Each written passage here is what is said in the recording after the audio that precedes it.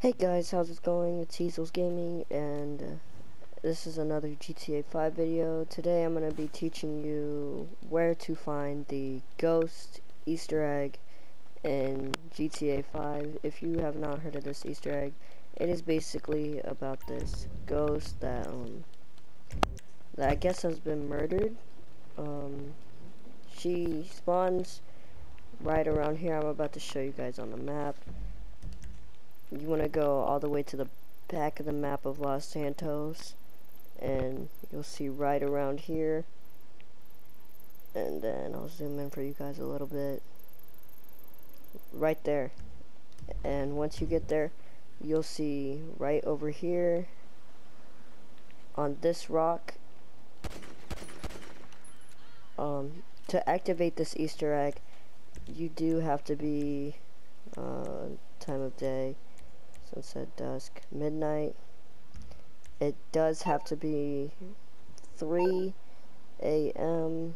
at midnight I am gonna no wait it doesn't have to be 2, 3 a.m. it has to be 23 o'clock so just before midnight you want to go to dusk and at this time it will be 2101 I'm gonna skip forward the video till we get to 23 so guys 255 um, it is about to be 223 you do not have to have 100 complete to see this but right there there's the ghost spawned. Um, there is no photoshop done here. Oh, oh snap. So right here it says Jock.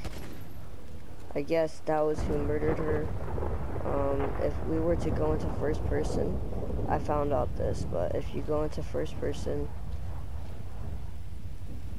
I don't know why I can't go into first person.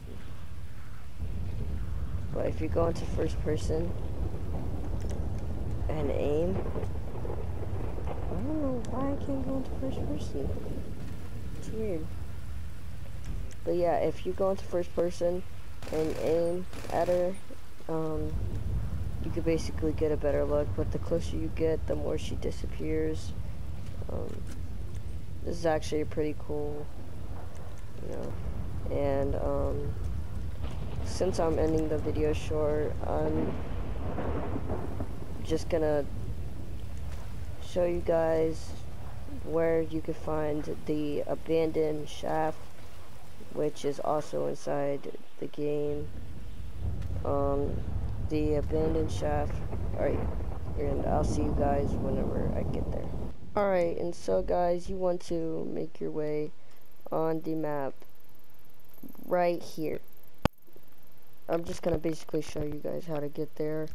You want to go down the hill as much as you can. Well, not as much as you can, but you just keep going down the hill until you see this mine shaft. You can open it up with sticky bombs, but since I don't have it, I'm just gonna open it up with a grenade. And it opens right up. Uh, you can go inside it. You can go through the